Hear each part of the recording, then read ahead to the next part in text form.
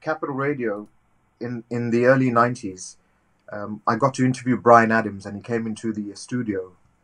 And after the interview, he said, "Alan, can I just come and stand behind you?" Because the way that the studio was laid out, we had this big window behind the presenters, which looked directly into the Indian Ocean.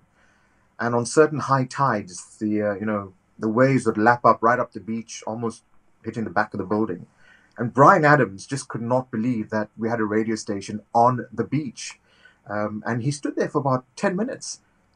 And it was just him and I in the studio. The interview had done, and he had his camera because um, you know he's a good photographer, and he took some photographs uh, of uh, the Indian Ocean. And then he told me, "Oh, do you know that I have a cousin in Pinetown?"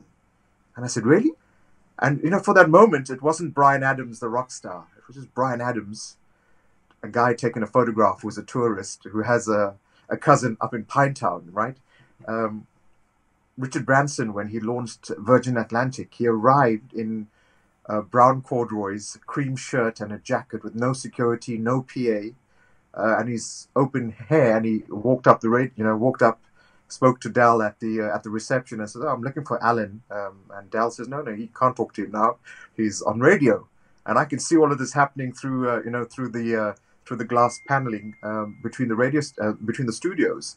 Uh, and she says, "No, take a seat at the um, in the lounge. You know, I'm sure Alan will come out and see you just now." And I had to run out and say, "Hey, that's Richard Branson."